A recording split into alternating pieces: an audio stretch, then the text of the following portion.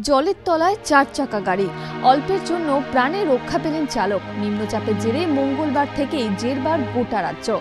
দিনভর টানা বৃষ্টিতে এখনও জল জমে রয়েছে পশ্চিম বর্ধমানের শালবনিতে।